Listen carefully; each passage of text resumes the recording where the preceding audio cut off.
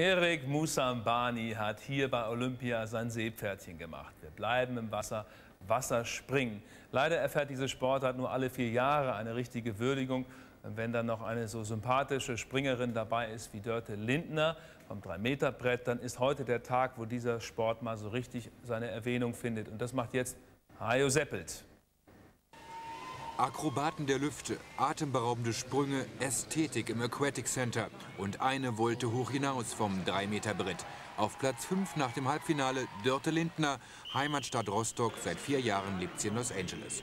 Medaillenhoffnungen im deutschen Block, der die Chinesinnen wie deren Star Ming Xia Fu zunächst und überhaupt wie am Uhrwerk aufgezogen rotieren sah. Auch Dörte Lindner drehte erst einmal, ein wenig zumindest, am Rad für eine optimale Federung des Bretts. Und dann fliegend. Ein dreieinhalbfacher Vorwärtssalto, den nur wenige in der Weltspitze zeigen.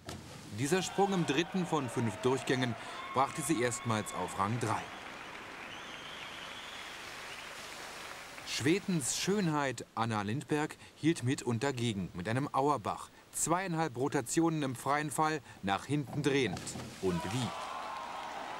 Und was am Ende dieser Runde?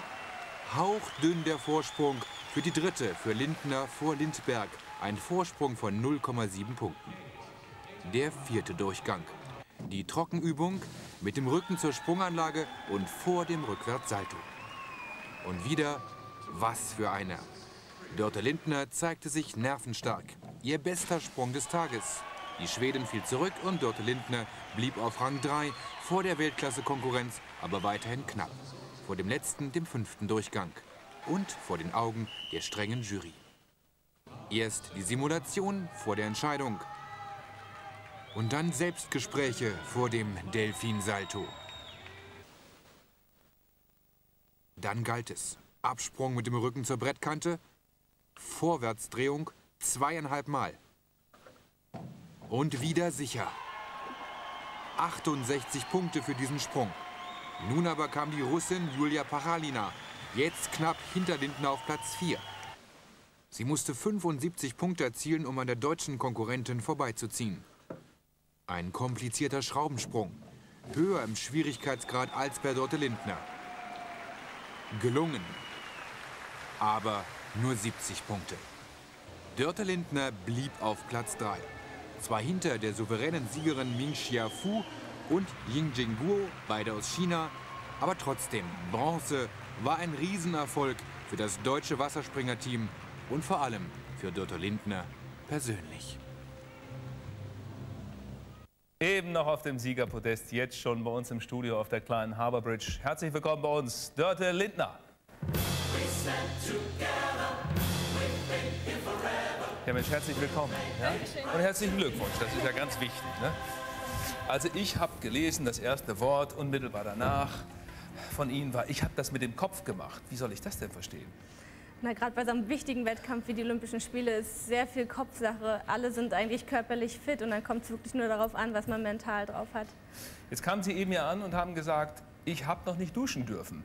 Ja. Das verstehe ich jetzt beim Wassersport überhaupt nicht. Was ist da vorgefallen? Ähm, weil die drei Erstplatzierten, die werden gleich zur Dopingkontrolle rausgesucht und man darf da nicht duschen, weil man wahrscheinlich Weiß ich habe die Frau auch eingeladen, die hätte auch mit mir duschen können, aber es wollte nicht. Weil ich ja. mag eigentlich nicht so nach Chlor riechen, aber das kriegen wir heute schon hin. Ja, aber das ist, gehört natürlich nur zum Beruf dazu, das, das mhm. Chlorwasser. Ja. Dann gab es ja Ärger mit den Badeanzügen, die waren zu klein und die waren zu durchsichtig. Wie ist denn das Problem gelöst worden noch? Ach, mit den Speedo-Badeanzügen? Ja, also ich bin auf jeden Fall muss ich in meinem roten Badeanzug springen bei wichtigen Wettkämpfen. Das habe ich heute auch gemacht. Das war auch ein Speedo-Badeanzug, aber nicht von unserer neuen Einkleidung, sondern schon von der Einkleidung vorher, die ich damals in Amerika gekriegt habe. Da haben Sie gesagt, hätten Sie doch gleich nackt springen können. Das war Ihre erste Reaktion. naja, weil einige Badeanzüge waren doch schon ganz schön durchsichtig. Und es steht irgendwie in den Regeln für die Olympischen Spiele drin, dass es einwand, moralisch einwandfreie Bekleidung sein muss. Und also Aha. das darf man nicht zeigen. Ist ja okay. Aber die Kollegin Anita Walker hat doch damals nach Atlanta, die ist doch gleich nackt in den Playboy gesprungen. Ja, da war sie ja nicht mal beim Wettkampf mit dabei. würden Sie sowas auch machen? Um, hm. Wenn die Bilder schön sind, vielleicht, ja. ja. ja. Nun sind Sie ja wieder nach Rostock zurückgekehrt, haben, glaube ich, noch einen Koffer in Los Angeles. War das ein Vorteil für Sie, um sich auf Olympia vorzubereiten? War das ein besseres Training? als zu Hause daheim? Äh, na, ich habe ja in den letzten vier Jahren in Amerika studiert und auch trainiert und die letzten vier Jahre haben mir eigentlich sportlich total viel gebracht. Gerade diese Kopfsache, dass ich eben halt von mir überzeugt bin und selbstbewusst bin. Ähm, die letzten zwei Monate habe ich halt in Rostock trainiert und auch das war gut, also weil meine Trainerin ein bisschen härter ist und ein bisschen mehr mit mir durchgreift. Aha. Jetzt mal alles zusammen hat es eigentlich ganz gut funktioniert, ja. Sie, Sie, haben Publizistik studiert, das heißt Sie... Nein, nein. nein. ich habe Kommunikationswissenschaften studiert und Wirtschaftswissenschaften und habe auch im Mai abgeschlossen. Ist schön, wenn wir Journalisten dann recherchieren und kommen mit der falschen Information daher. Ne? Ist schon okay. Ja, ja. Also, äh, wie geht es denn jetzt weiter? Sie haben gesagt, dies war der erste und letzte Olympiawettbewerb für Sie. Das sollen wir Ihnen glauben?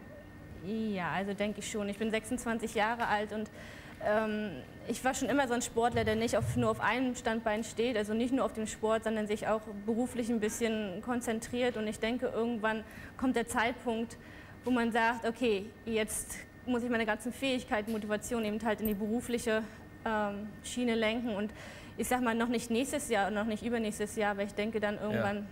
werde ich eben halt meine ganze Energie beruflich einsetzen. Was wollen Sie machen beruflich?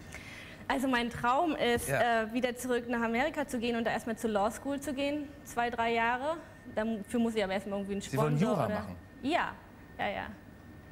Also ich habe schon mal... Ich bin überhaupt nicht vorgestellt, bin ganz erschüttert jetzt. Also, Ehrlich? Ja, ich denke, das ist doch Nein, so... ich möchte kein Jura Anwalt ist doch werden. unerotisch oder so. Unerotisch, äh, nee, ich möchte kein Anwalt werden, aber ich finde einfach, äh, das Rechtsgebiet ist wahnsinnig interessant ja. und das war schon in Deutschland interessant. Ich habe auch drei, Jahr, drei Semester in Deutschland studiert, Jura und bevor ich rüber bin nach Amerika und es ist in Amerika noch viel interessanter. Und ja. also nicht unbedingt Anwalt zu werden, sondern einfach nur um das zu studieren, das Wissen zu haben. Haben Sie Patrick Rafter getroffen? Na klar. Größter Wunsch. Was hat er gesagt? äh, na, ich habe ihn einfach gefragt, ob ich ein Bild machen kann und alle haben irgendwie ganz dumm weggeschaut, weil es wahrscheinlich peinlich ist. Aber ich finde, es ist ein totaler Superstar und sieht gut aus und äh, ja. Na klar, hat er mit mir ein Bild gemacht und hat sich auch danach noch unterhalten, aber ich konnte kein Wort mehr reden. Also Stefan, mein Trainingspartner, hat sich die ganze Zeit unterhalten. Ich stand nur da so. Jetzt sind Sie auch ein kleiner Superstar. Herzlichen ja. Dank für den Besuch. Dankeschön. Alles Gute, Dirk Lindner. Ja. Und äh, ich möchte schon mal eine Einladung aussprechen für den oh. 25. November. Die ersten Deutschland Sportler 2000. Super. Und Sie sind mit dabei. Dankeschön. Ja, kommen Sie vorbei. Dankeschön. Ne? Das ja, ist schon mal die offizielle Fall. Einladung Dankeschön. in München. Und, dann und Sie haben sicherlich auch große Chancen bei der Wahl. sicherlich Kandidatin und das ist ein Bumerang. Ja. ja? Können Sie mal zu Patrick Graf darüber werfen beim nächsten Spiel oder so? Ja, mal sehen. Ja, mal sehen. Er war Danke. ja nicht so gut. Ich habe heute schon das, äh, so ein bisschen mit Tennis zugeguckt, also Tommy Haas gegen Kafalnikov und schade, dass Tommy nicht gewonnen hat, aber Danke, ist schon okay. Ja? ja, danke schön.